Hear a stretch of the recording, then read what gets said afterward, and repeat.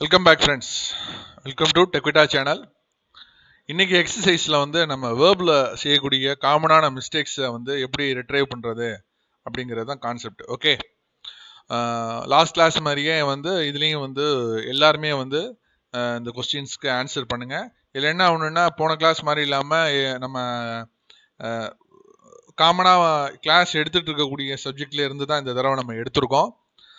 ஓரளவுக்கு வந்து ஒரு சிக்ஸ் கொஸ்டின்ஸ் அந்த வாட்டியும் ரொம்ப டஃப்பாக கொடுக்காம ஏன்னா கொஸ்டின்ஸ் அண்டர்ஸ்டாண்ட் பண்ணிக்கிறது கொஞ்சம் சிரமமாக இருக்குங்கிறதுனால ரொம்ப கொடுத்து குழப்ப வேணாம்.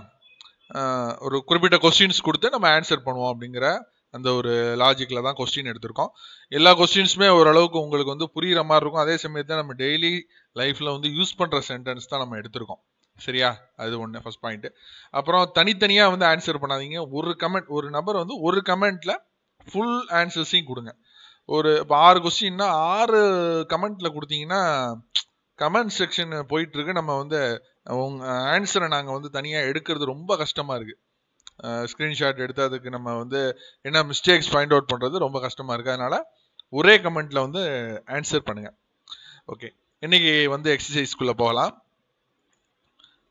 ஃபர்ஸ்ட் கொஸ்டின் பார்த்துக்கிட்டிங்கன்னா அவன் பத்து மணியிலிருந்து உனக்காக காத்து கொண்டிருக்கிறான் இதான் சென்டென்ஸ் ஓகேவா இது பேக்ரவுண்டு சென்டென்ஸ்னா யாரோ ஒருத்தவங்க உங்களுக்காக சொல்கிறாங்க என்னப்பா அவர் பத்து மணிலேருந்து உனக்காக உட்காந்துருக்காருப்பா காத்துட்டு இருக்காருப்பா அப்படிங்கிற மாதிரி பேக்ரவுண்ட் சென்டென்ஸ் அந்த ஃப்ரேமிங் ஆஃப் த சென்டென்ஸ் வந்து பேக்ரவுண்டில் ஒருத்தவங்க உங்கள்கிட்ட சொல்கிறாங்க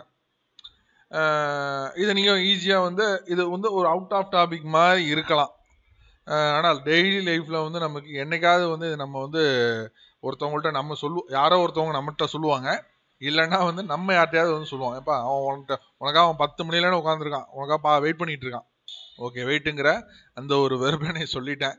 ஓகே நோ ப்ராப்ளம் வெயிட்டுங்கிற வெறுப்பு நீங்கள் ஈஸியாக கண்டுபிடிக்க தான் அதுக்கு முன்னாடி சேர்க்கக்கூடிய வெறுப்பு தான் ரொம்ப முக்கியம். ஓகே இது வந்து எப்படி ஆன்சர் பண்ணுறீங்கிறத பார்ப்போம். செகண்ட் கொஸ்டின் நான் பஸ்ஸில் பள்ளிக்கு சென்று வருகிறேன். சாரி நான் பஸ்ஸில் பள்ளிக்கு சென்று வருகிறேன். ரொம்ப வந்து நம்ம சார் வந்து எடுக்கக்கூடிய கிளாஸில் காமனாக சொல்லக்கூடிய ரொம்ப முக்கியமான விஷயம். அதுதான் வந்து இந்த சென்டென்ஸாக அமைச்சிருக்கோம். இது பார்த்தாலே வந்து தொடர்ந்து நிகழ்ச்சியை பார்த்துட்டு வரவங்களுக்கு கண்டிப்பாக அதுக்கு வந்து ஆன்சர் உடனே மைண்டில் வரும். இதுக்கு வந்து இப்படி தான் வரும் அப்படின்னு சொல்லிட்டு. அது மட்டும் இல்லாமல் நம்ம வந்து இந்த வெர்பை வேணால் மாற்றலாம் வெர்பும் அந்த ஆப்ஜெக்டை வேணால் மாற்றலாம் நம்ம மற்றபடி நம்ம எது வேணாலும் போகலாம் இந்த இடத்துல. நான் காலையில் காஃபி தான் குடிக்கிறேன். ஓகே? காலையில் நான் இட்லி தான் சாப்பிட்றேன். நைட்டு நான் சாப்பிட்றதில்ல. இந்த மாதிரி சென்டென்ஸுடைய ஒரு பேசிக்கான ஒரு சென்டென்ஸாக தான் இதை நம்ம வச்சுருக்கோம்.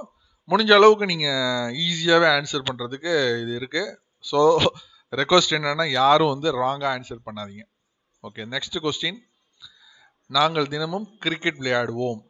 அதே அதாவது இந்த செகண்ட் கொஸ்டினுக்கும் தேர்ட் கொஸ்டினுக்கும் ஒரு சென்டென்ஸில் நான் வந்து லேயஸாக அவங்க மாடரேட்டர் டீம் வந்து கொஞ்சம் டிஃப்ரென்ஸ் கொடுத்தாலும் நான் உங்களுக்கு கொடுக்கக்கூடிய ஹிண்ட் என்னன்னா ரெண்டுமே வந்து சேம் ஃப்ரேம் ஃபார்மேஷன் தான். அதை நான் உங்களுக்கு ஹிண்ட்டாக கொடுத்துட்டேன். நீங்கள் ஆன்சர் தான் கொடுக்கணும். தப்பாக தயவு செய்து கொடுத்துறாங்க ஓகே நான் அவரிடம் போக சொன்னேன். ஒரு குழப்பமாக கொஞ்சம் குழப்பம் இருக்கும்.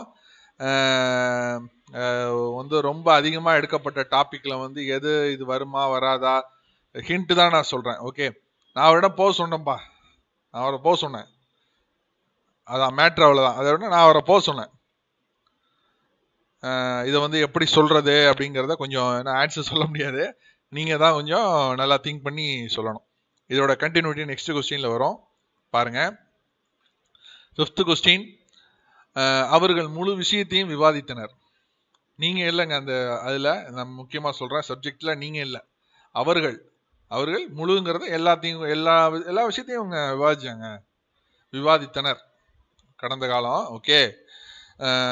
இதில் வந்து ஒரு முக்கியமான ஒரு பாயிண்ட் இருக்குது இந்த நான் இந்த ஃப்ரேம் அவங்க சொன்னதுக்கு அவங்க போட்ட அதாவது இந்த கொஸ்டினை என்ன சொல்கிறது இந்த வாக்கியத்தை அமைச்சதுக்கு ஒரு விஷயம் ஒரு முக்கியமான கான்செப்ட் இருக்கு. நீங்க ஆன்சர் பண்ணுங்க. நான் அதுக்கு உண்டான விவரத்தை சொல்றேன். ஹிண்ட் கொடுத்துருக்காங்க. நோட்ஸ் இருக்கு. Okay then sixth question final question நான் பிரின்சிபலிடம் சொல்லி உன்னை பனிஷ் பண்ண சொல்றேன். இதில் வந்து verb ஒரு இங்கிலீஷ் verb கொடுத்துருக்காங்க. இது வந்து கண்டிப்பாக வந்து இதை தொடர்ந்து நிகழ்ச்சி பார்க்குறவங்களுக்கு இது பார்த்தாலே ஆன்சர் தெரியணும். இது என்ன லாஜிக்கில் வந்திருக்கு? இது இப்படி தான் வருங்கிறது கண்டிப்பாக தெரிஞ்சிருக்கணும். கண்டிப்பாக கரெக்டான ஆன்சர் கொடுங்க ஓகே தப்பான ஆன்சர் கொடுத்துறாங்க. ஓகே சிக்ஸ் கொஸ்டின்ஸ் தான் அடுத்த ஃப்ரேம் செட் பண்ணிட்டு இருக்கோம் அதாவது next set of questions set பண்ணிட்டு இருக்கோம் இதுக்கு கண்டிப்பாக ஆன்சர் பண்ணுங்க. அப்புறம் ஃபைனலாக ரெக்வஸ்ட் கொடுத்துருக்காங்க. அனைவரும் தவறாது. இந்த பயிற்சியில் கலந்து பதில் தருமாறு பதில் தரும்போது தனித்தனி கமெண்ட்டு ஒரு பதிவில் பதில் தரவும். ஒரே நபர் பதில்களை தனித்தனி கமெண்ட்டாக தர வேண்டாம் என்று கேட்டுக்கொள்கிறோம். இது வந்து ஒரு ரெக்வஸ்ட்டாக அவங்களுக்கு கொடுக்க சொன்னாங்க. கொடுத்துட்டோம். நான் திருப்பியும் சொல்கிறேன் இந்த ஃப்ரேம் சென்டென்ஸை பார்த்துங்க. அவன் பத்து மணிந்து உனக்காக காத்து கொண்டிருக்கிறான். நான் பஸ்ஸில் பள்ளிக்கு சென்று வருகிறேன். நாங்கள் தினமும் கிரிக்கெட் விளையாடுவோம். நான் அவரிடம் போக சொன்னேன். அவர்கள் முழு விஷயம் முழு விஷய- விஷயத்தையும் விவாதித்தனர். நான் பிரின்சி பிரின்சிபலிடம் சொல்லி உன்னை பனிஷ் பண்ண சொல்கிறேன் எதுக்கு நான் திருப்பியும் வந்து இந்த கொஸ்டின்ஸை வந்து நான் வாசிச்சேன்னா இதை படிக்கும் போதே உங்களுக்கு தெரியும். இதெல்லாம் வந்து நம்ம டெய்லி லைஃப்ல யூஸ் பண்ற மாதிரி தானே இருக்கு. சப்ஜெக்ட் வெறுப்பு வேணா மாறுங்கண்ணே. வெறுப்புங்கிறது நம்ம செயல் வேணா மாறலாம். ஆனா அந்த ஃப்ரேம் வந்து நம்ம டெய்லி லைஃப்ல ஏதாவது ஒரு வகையில வந்து நம்ம யூஸ் பண்ற மாதிரியே தான் இருக்கும். அதனால தான் நான் திருப்பியும் சொல்றேன். ஓகே தயவு செய்து எல்லாரும் ஆன்சர் பண்ணுங்க. ராங் ஆன்சர் பண்ணாமல் மேக்ஸிமம் கரெக்டாக ஆன்சர் பண்ணுங்க. டவுட் இருந்தால் கேளுங்க. நம்ம எக்ஸ்பிளைன் பண்ணுவோம். அந்த கமெண்ட்லேயே கேட்கலாம். ஒன்றும் ப்ராப்ளம் இல்லை. அவங்க ஆன்சருக்காக வெயிட் பண்ணுறாங்க பாய் ஃப்ரெண்ட்ஸ்